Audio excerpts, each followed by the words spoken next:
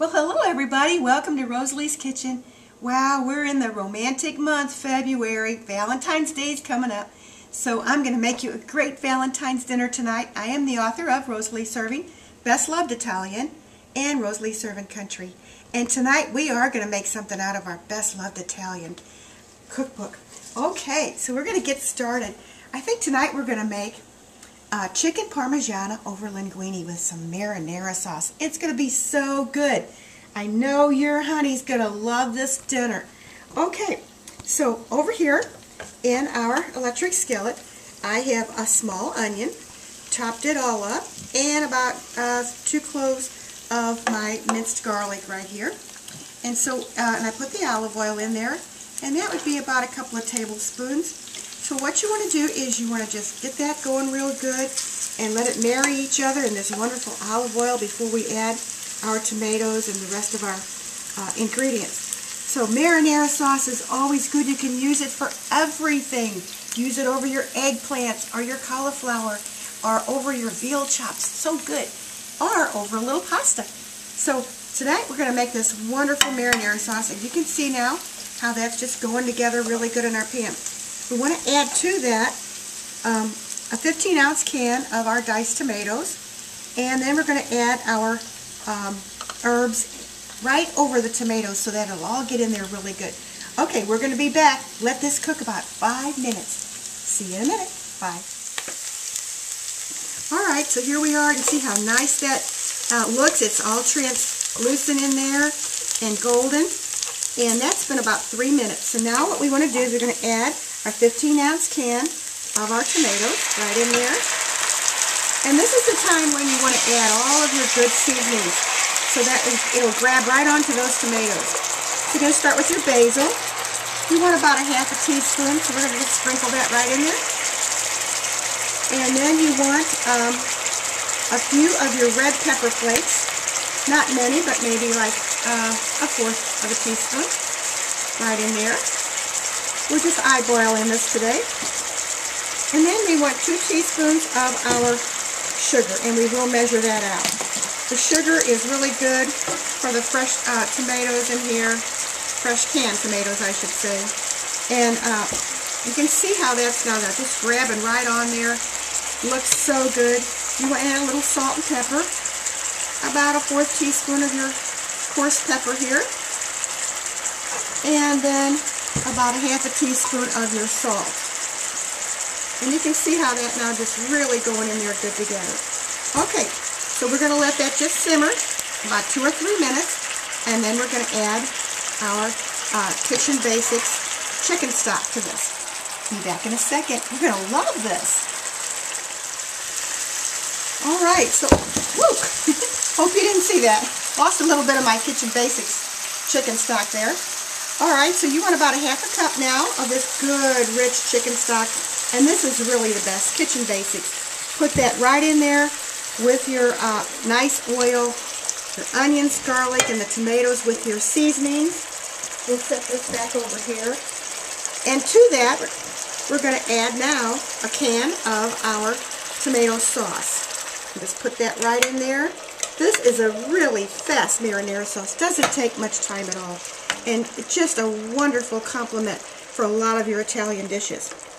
All right, so while we let that simmer together, you want a small can of your paste. And we're going to go ahead and use all of this tonight. Sometimes I just tell you to use about three-fourths of a can.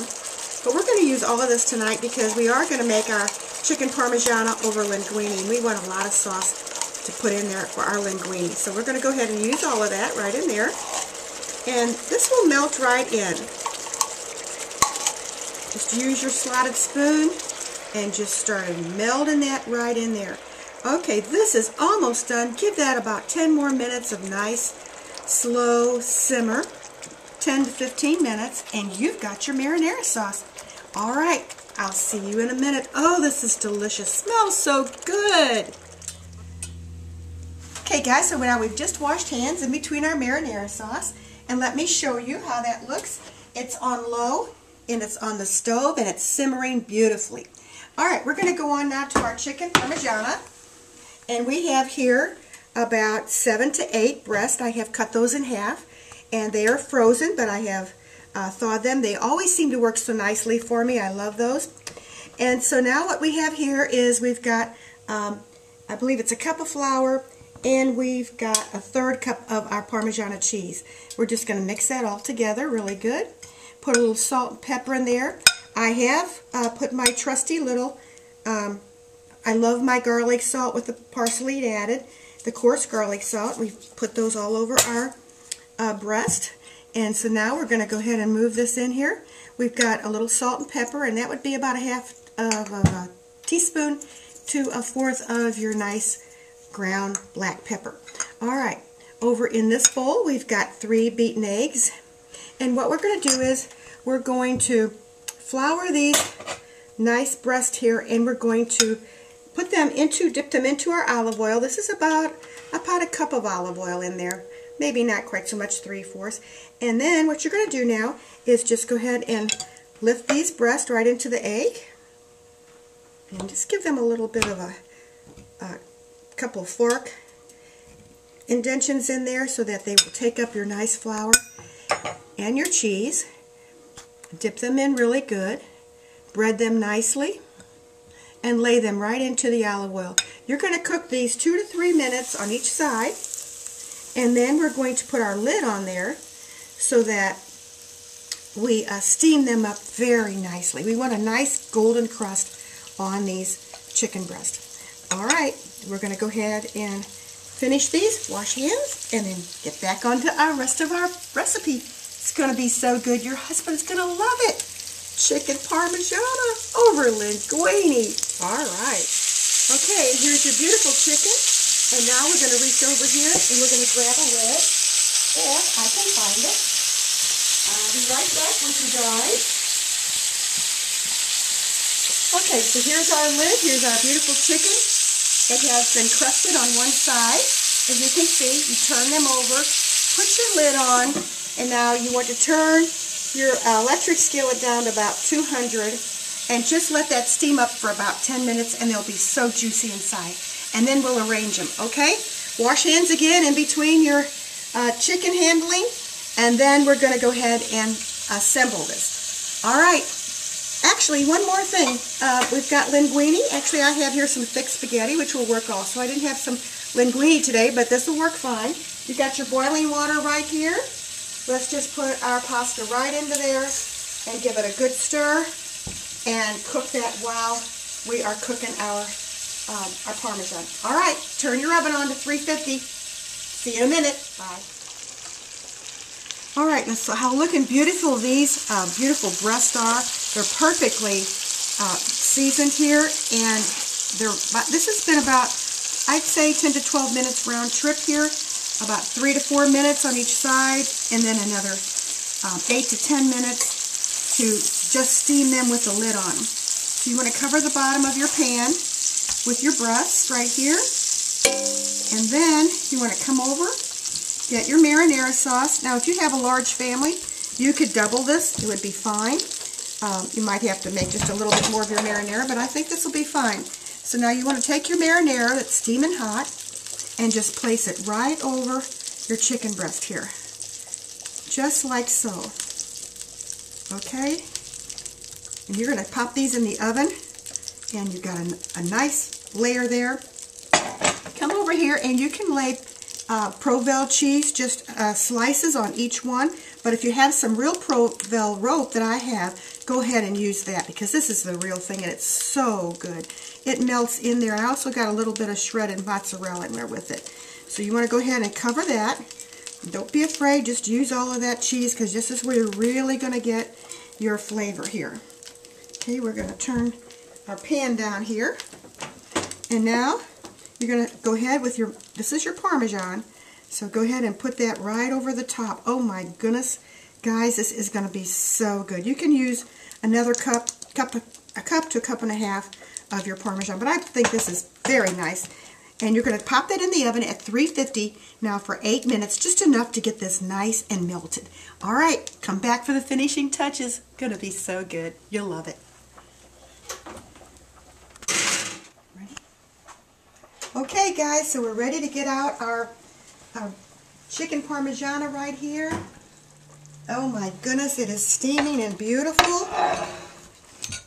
And we're ready for our pasta dish right here.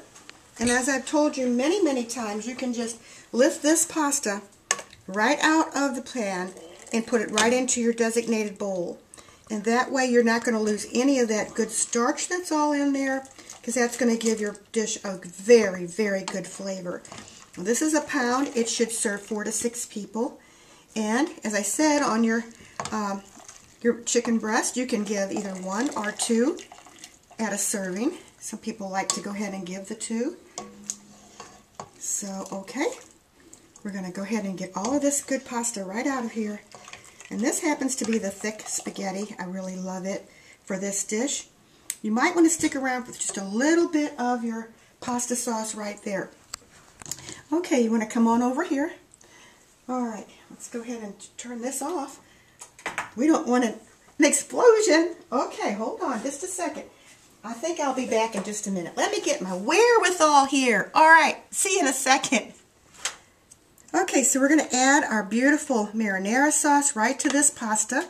And remember, you have quite a bit left here that has uh, that you made earlier. So you've got a nice, a nice amount here. So just put that right in with your pasta. Stir that around.